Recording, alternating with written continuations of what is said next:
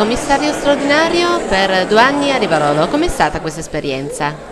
Beh, sicuramente forte per mille componenti, direi emotivamente importante perché mi ha arricchito anche professionalmente. Cioè, intanto sono entrato in contatto con apparati e a parte le procedure che mi hanno anche dire, sorpreso ma anche positivamente perché ho apprezzato moltissimo anche il, diciamo, la dedizione e la collaborazione dei, dei colleghi e dei funzionari. E c'era comunque, e lo notavo spesso, facevo anche raffronti con quello che si dice, la macchina comunale che comunque è inefficiente e inerte, invece devo dire è stata un'ottima e piacevole sorpresa, quindi ringrazio veramente i collaboratori, i colleghi perché li ho visti sempre comunque presenti, non solo sul posto ma anche eh, dal punto di vista operativo. Cos'è che l'ha colpito di più di questa città e dei rivarlesi? Beh, eh, a parte l'iniziale diffidenza che potevo immaginarla come è stata forse reciproca, però pian piano, io poi ormai sono un, un meridionale ma trapiantato al nord, quindi conosco e apprezzo anche i lati eh, dei settentrionali, nel momento in cui eh, ci si apre, comunque ci, si scompone la diffidenza, c'è un rapporto più consolidato ecco, rispetto ai meridionali che poi forse inizialmente si aprono subito, poi magari qualche piccola sorpresa dalla riserva con i settentrionali nel momento in cui c'è eh, un rapporto di reciproco rispetto, ovviamente stima, quello rimane e, e rimane consolidato. Adesso dove andrà? Adesso già da marzo sono a Vicenza, quindi rientro in zona, anche se io sono ferrarese, quindi emiliano, anche se napoletano, però ormai sono settentrionale a tutti gli effetti, adesso torno a fare il viceprefetto vicario a Vicenza. Un augurio alla nuova amministrazione? Eh, l'augurio è che ovviamente non arrivi più nessun commissario, questo è, è, è pacifico, però penso, insomma, adesso noi abbiamo lavorato per dare penso, trasparenza alla casa comunale, quindi penso che un piccolo lavoro comunque da questo punto di vista sia stato fatto e credo che rimanga anche come, come esempio, probabilmente anche i cittadini e gli stessi funzionari, gli stessi collaboratori si aspetteranno qualcosa di simile. Quindi questo è l'augurio. Passaggio di consegne dalla commissione straordinaria al neo sindaco. Com'è stato? Beh, sicuramente è stato un momento emozionante, un momento istituzionale, un momento che aspettavamo da tanto tempo e finalmente è arrivato. È sicuramente una grande responsabilità, il passaggio di consegne eh, di una città che esce da due anni di commissariamento, ho ringraziato i commissari perché in questi due anni hanno fatto di più di quello che era il loro compito istituzionale.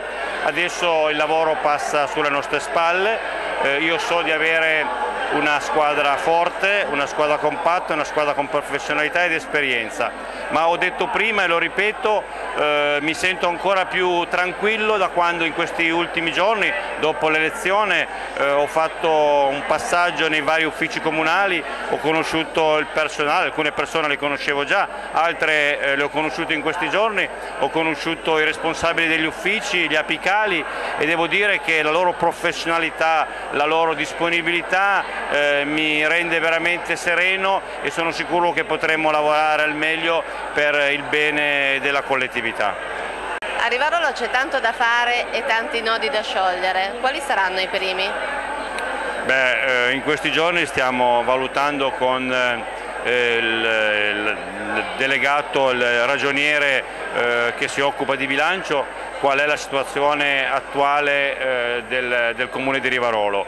Eh, i nodi da sciogliere sono veramente tanti, eh, non, farò, non, faccio eh, delle preferenze ma sicuramente eh, dobbiamo intanto dar corpo e seguire i lavori della scuola, dobbiamo dare, fare attenzione a, alla qualità dell'aria e dell'ambiente di Rivarolo, eh, dobbiamo eh, creare un arredo urbano e una, una vivibilità rivarolese eh, accettabile, perché io penso che il più bel biglietto da visita di una città sia quello che quando una, un turista, una persona viene, viene, da un altro paese eh, vede un ambiente pulito, ordinato, eh, con eh, eh un'organizzazione anche ambientale accettabile e naturalmente eh, venga a respirare un'aria non inquinata. Quindi sicuramente questo è uno dei primi obiettivi, eh, stiamo prendendo così coscienza di queste cose e quanto prima inizieremo a lavorare. Assessore alla cultura, la più votata e la più giovane, che, quali sensazioni, quale emozione?